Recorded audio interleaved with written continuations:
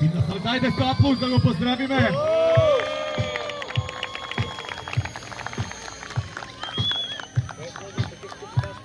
Сега намерно да изгасиме музиката за да можете да ги слушнете лисите на хеликоптерот. Интересен да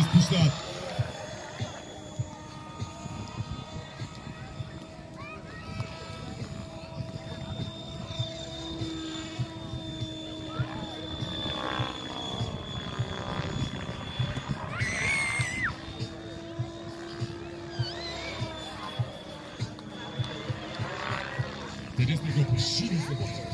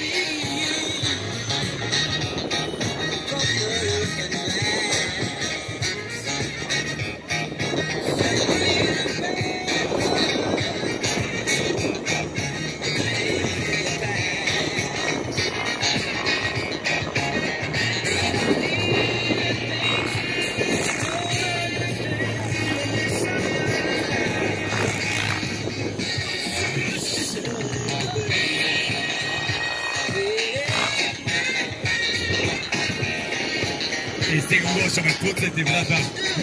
Подсети. Ќе ме само дели да припазите само дечињето да не истрчаат на пистата. Вчера имавме една таква ситуација, за сега се не ви добра помина.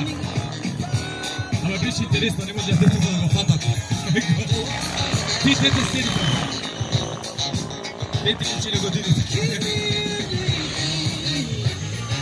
Иначе приканица детето со обезумувањето. Escucha, mi